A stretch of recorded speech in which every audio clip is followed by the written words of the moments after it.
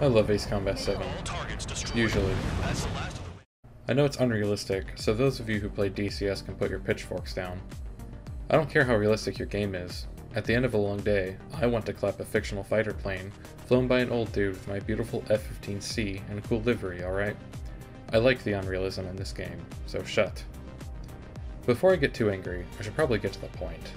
That, of course, being the sheer magnitude of ridiculousness that makes this story what it is. How can a story that seems unreasonably complicated work? Well, first let me address the Morgan in the hangar. I'm biased. I grew up around fighter jets, especially F-15s, and I love military aviation. Also grew up around Ace Combat itself, so I do try to defend these games. My proof that I'm not too biased is that I don't defend the storytelling of Ace Combat 6, although to be fair, 6 is some of the best gameplay in the entire series. Also, I want to make this clear. This is not a plot summary. I'm talking about a handful of writing mechanics and bringing up some relevant plot moments as demonstrations, but I'm not going to summarize the plot in its entirety in this video. If there's one thing you can always expect from an Ace Combat game, is that the characters will be distinct. It's an impressive feat when you consider that 95% of what you know about them is a staticky voice on the radio, and the other 5% is probably just what plane they fly, Cutscenes add a lot to them, sure, but I think overall, the gameplay conversations have the strongest writing. That, or I'm too busy dodging missiles to really take apart the drama around me as closely as I scrutinize the cutscenes. Take the various AWACS in the game, specifically Skykeeper, Bandog, and Longcaster. They all fulfill the same practical role in the game, friendly AWACS, but they have distinct personalities. We don't see Skykeeper that much in the game, but we still know that he's fiercely loyal to Osea, but also to former President Harling. Bandog is cynical, and at first it seems like it's only because he's stuck working with a penal unit. He even seems to care at least a little about the 444 pilots as missions progress. Yet, it's clear from how he interacts with Mackenzie that he actually craves power and recognition. He loves ordering pilots around, and he brown noses Mackenzie annoyingly hard.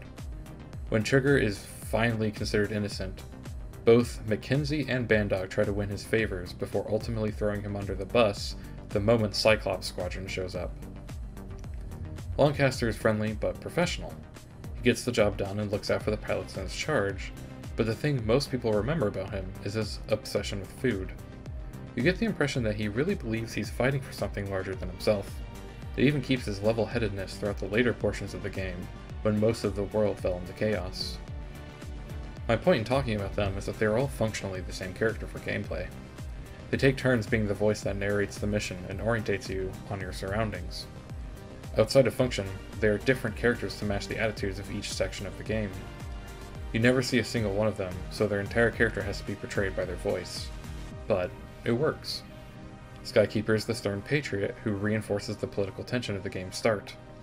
Bandog is the power-hungry bully with a god complex to show the imperfect nature of Osea. Longcaster is the humble hero who wants to do his part in the ending of the war for the final part of the game. There's a similar situation with the other pilots in the game, but I won't go through them all. All I need to make clear is that most of the characters are only known by their voice, and yet they are mostly distinct from each other. While some of them are a little too trope-y, there's also just classic Ace Combat, so my bar of expectations is lower. Yes, I know Strangereal isn't technically the official name because it comes from a misreading of the Ace Combat 4 trailer. I counter that the name was used in a tweet, and that's official enough for me. Strangereal as a world facilitates the absurdity of the story in a way that no other fictional world can. It's a world constantly at war, and thus every country has considerably refined their warfighting capabilities. Ace Combat 7's Arsenal Birds, as well as Hugin and Munin, Makes sense in Strangereal thanks to Stonehenge, Excalibur, Chandelier, Megalith, and so on from previous games. The world has plenty of room to up the ante every time and still have it aesthetically fit. Ace Combat 7 in particular ponders the morality of drones throughout the entire game through the aforementioned Arsenal Birds Hugin and Munin, and the thousands of random drones. The UAVs can take out their targets efficiently with zero civilian casualties and without the risk of sending more Erusian pilots into danger than necessary. Yet, that so-called clean perception allowed the Erusian radicals to the public support they needed to increase the scope of the war. Ultimately, the war grew so far out of control that civilians were starting to get killed, and the Erusians had to send personnel anyway, rendering most of the benefits provided by the drones no longer worthwhile. Erusea mainly kept the fighting going because of the sunk cost fallacy afterwards, because they believed that they could just keep manufacturing drones, even though the entire world had almost collapsed at that point. At the end of the day, that's the magic of Strange It's absurd and dramatic, but there is still a traceable line of cause and effect that underlines its own plausibility.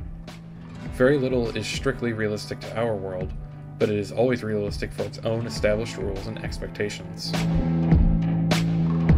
The plot may be absurd, but it does feature some relatively straightforward elements that keep it together. For example, while every part of a story is important and the writing process for each should be respected, the opening of a story in particular has a lot of critical work that it needs to do in order for the rest of the story to have a chance of surviving. The opening needs to introduce the world, the characters, the conflict, and the adversary. Additionally, the opening needs to establish the general tone of the story, the rules that will dictate the world, and the foundation the threads of the story will return to.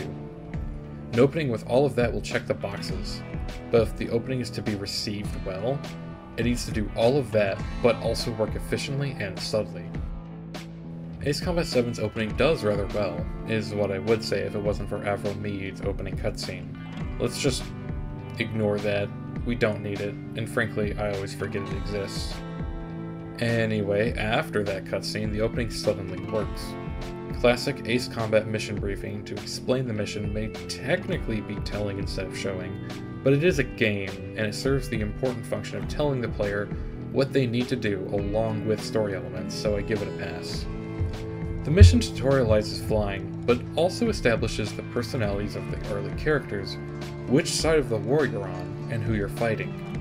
The next cutscene fills in the gaps. That's good. Maybe it's not perfect, but it functions. The rest of the plot is very similar. There are awkward moments, but the story does work. A lot of the plot relies on nuance, and the story makes risky moves that I think work in its favor. Erusea is split into factions, but you both help and fight against all of them depending on the situation. Osea aren't at fault for the war, but their practices are harsh and overreaching, like the usage of penal units as bait. Even the main personal protagonists, Mihai and Dr. Schroeder, are sympathetic by the end. The former just wanted to keep flying in his old age, and the latter thought he had to do it for honor of his nation.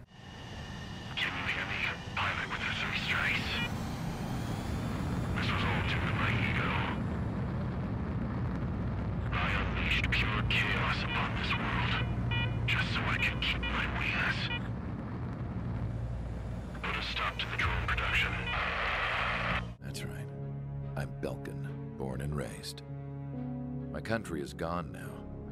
Rather than surrender to its enemy, Belka detonated seven nuclear weapons on its own soil. My people scattered around the globe, living in the shadows of other countries. We had a new purpose, to breed wars. The theory was that through war, we could achieve our destiny and our revenge. So, this place runs on solar power that the space elevator generates, right? How about the others? We can destroy the space elevator and cut the power to them. First things first, let's take this one out. I'll show you which locations to target. Both realized the drones were a bad direction to go, and turned against them later. Which brings me to the other specific section I wanted to dissect a little, the ending. The conclusion of a story needs to tie up all loose ends and answer any questions that still remain indebted to the reader. Some might argue that a sequel might need the loose ends and the open questions, but I'd argue back that sequels are still the same story, just a different chapter. So whenever your series ends is the real conclusion that needs to wrap everything up. Others will inevitably argue about specific stories that intentionally leave the reader room for open interpretation, but that has to be done perfectly to work, and it's not the kind of story I'm talking about. Ace Combat 7 wraps up nicely, the various factions at war all dislike each other, but they all agree that they don't dislike each other enough to justify fighting, especially since modern civilization has almost entirely collapsed into anarchy by this point. Instead, they consolidate their resources to fight against the Erusian radicals in order to stop the war. Functionally, that shrinks the list of antagonists down and firmly answers the question on what the real enemy is the drones. Once they are all defeated, it makes sense that the war comes to a conclusion, because there is nobody left willing to fight. In the words of Knocker, I said what I have to say. I just wanted to do a short video that explains why I think the story of Ace Combat 7 is perfectly serviceable for the game. If I get the Xenia emulator to work well enough without the black triangles or weird audio glitches, I'll make a similar video on why I don't think Ace Combat 6's story is as strong. Or I'll do the video anyway and embrace the jankiness of emulation. I'm not sure how to sign off, so bye.